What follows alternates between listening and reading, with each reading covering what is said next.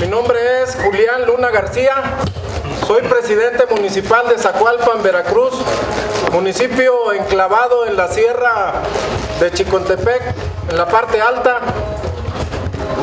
Primero quiero darle las gracias a nombre de todos los compañeros que estamos aquí en este movimiento de presidentes municipales, diputados y senador, que quiero mencionarles que el día viernes a las 10 de la mañana ustedes nos acompañaron en una rueda de prensa en la que dimos a conocer nuestra posición en relación a las denuncias que habíamos presentado ante la Procuraduría General de la República y ante la Suprema Corte de Justicia de la Nación. Después de ese momento de la conferencia, nos trasladamos aquí a Palacio de Gobierno, donde no querían recibirnos quienes nos representan en el gobierno del Estado. Sin embargo, dada la presión que hicimos, pudimos lograr que nos recibiera el subsecretario de gobierno y después nos recibió el secretario particular o nos, nos, metimos a la fuerza a su oficina porque no nos resolvía nada y posteriormente hicimos que viniera el secretario de finanzas. Todos estos hechos sucedieron el día viernes. Quiero decirles que después de la respuesta del secretario de finanzas ante nuestras peticiones, ante nuestras demandas, respuestas en las que no vimos que se pudiera satisfacer nuestra, nuestras demandas, decidimos quedarnos en Palacio de Gobierno desde ese momento. Desde hace tres días estamos nosotros metidos en este recinto eh, exigiéndole al gobierno del estado que nos depositen los recursos que corresponden al Fondo de Infraestructura Social Municipal, al Fortamun y al Fortafin, hidrocarburos y todos los demás fondos que tienen que ver con los adeudos que tienen a los municipios. La respuesta del secretario de Finanzas fue muy pobre. Nos dijo que no tenían dinero, que el dinero que estaba destinado para los municipios lo habían agarrado para otras cosas. Con ese cinismo que lo caracteriza y con esa mentira nos quería envolver otra vez para decirnos a los presidentes municipales del PRD que nos fuéramos, que el próximo lunes, el día de mañana, nos iban a depositar el dinero que nos debían. Le hicimos la pregunta que si el dinero que nos debían equivalía a todos los recursos que en cada municipio se adeudan y la respuesta fue negativa. Nos dijo que no tenían dinero, que el dinero lo habían agarrado para otras cosas.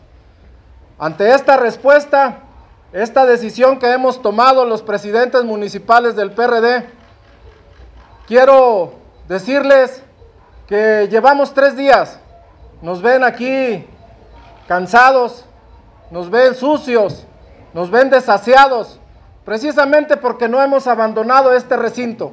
Aquí no hay un espacio donde bañarnos, donde asearnos, donde dormir. Lo hemos hecho en el suelo. Gracias a todos los compañeros que se han sumado a, este, a esta demanda. Anoche, a las 9 de la noche, los compañeros del PAN, los compañeros de AVE, compañeros de Partido de Trabajo, de Movimiento Ciudadano, se sumaron a esta demanda.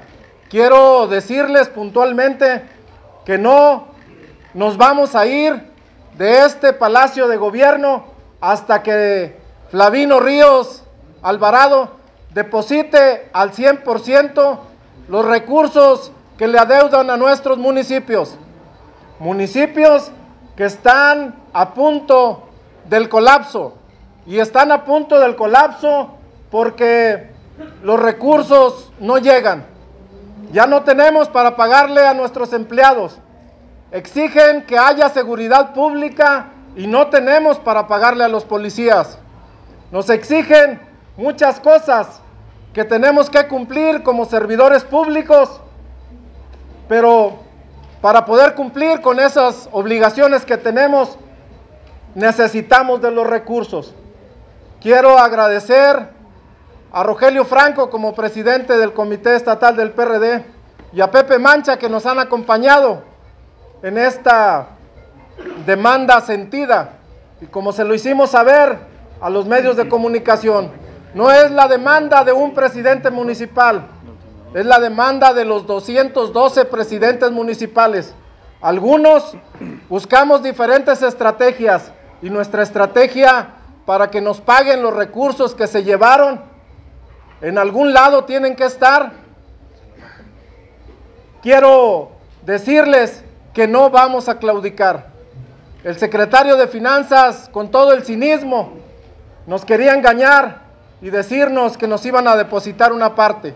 No estuvimos de acuerdo.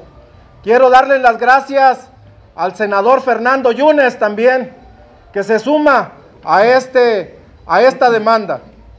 Gracias a nuestros legisladores porque desde allá nos etiquetaron estos recursos, recursos que llegaron al estado de Veracruz desde el 22 de agosto y que nosotros hemos firmado convenios de colaboración con la Secretaría de Finanzas para ejecutar obras que, que, que tendrían que estar concluidas en el mes de diciembre. Ya se acabó octubre y hasta esta fecha no hemos recibido ningún recurso de estos de los que les estamos hablando. Es por esto que hemos tomado esta decisión y convocamos a los alcaldes de los demás municipios que se sumen también a este proyecto. No es posible que dejemos que nuestra gente se quede en el abandono, se siga quedando en el olvido, mientras los que se llevaron nuestro dinero tienen ranchos, caballos que viven en mejores condiciones de las que viven la mayoría de los veracruzanos. No podemos permitir que esto suceda y no podemos permitir que este gobierno se vaya sin haber cumplido con la obligación que le corresponde. Queremos manifestarles que estamos en total desacuerdo de la iniciativa de ley que presentó nuestro gobernador del interino, Flavino Ríos, en la que está pidiendo al Congreso del Estado que el próximo lunes sesionen para que estos recursos que el día de hoy estamos exigiendo sean responsabilidad del nuevo gobierno que va a encabezar, Miguel Ángel Yunes Linares.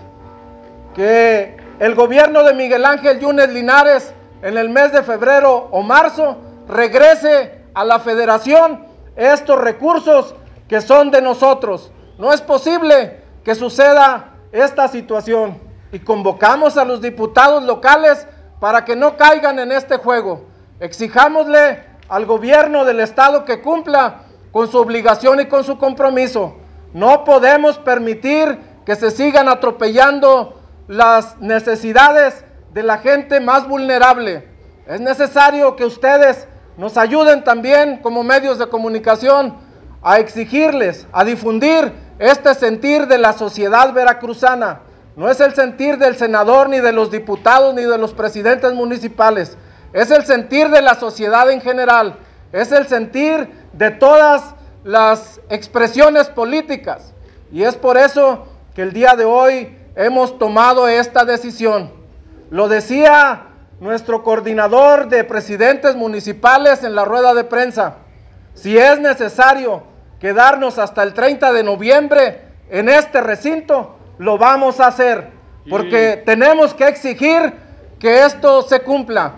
Anoche, ayer, tuvimos la visita de nuestra secretaria general del Comité Nacional del PRD, en donde le decíamos que por favor interviniera ante el gobierno federal para que pudiera solucionar este problema. Sabemos, porque así nos lo ha hecho saber el secretario de Finanzas, que no tienen recursos para solucionar estos problemas, que están esperanzados a que el gobierno de Enrique Peña Nieto les dé los recursos que ya se llevaron para que puedan pagar los más de 6 mil millones de pesos que adeudan a los 212 municipios. ¿Dónde están esos 6 mil millones de pesos si fueron radicados en tiempo y forma por la Secretaría de Hacienda al gobierno del Estado? Por eso que estamos en pie de lucha exigiéndole a nuestro gobierno que deposite los recursos a los municipios para que podamos darle continuidad a los trabajos que tenemos pendientes. Son cientos de obras, puentes, caminos. No les hemos pagado a los empleados. Tenemos también detenidos programas de mejoramiento a la vivienda, programas de salud, que no podemos eh, resolver precisamente porque no nos han dado estos recursos. Es por eso que hemos llegado hasta este punto.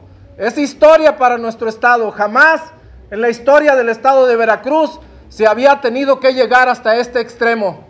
Pero el gobierno nos fue orillando a tomar esta decisión y estamos firmes en esta decisión que hemos tomado y convencidos de que vamos a estar aquí si fuera necesario hasta el 30 de noviembre para que nuestros recursos puedan ser depositados y podamos resolver estos problemas que nosotros tenemos en cada uno de nuestros municipios. Muchísimas gracias, que tengan un excelente día.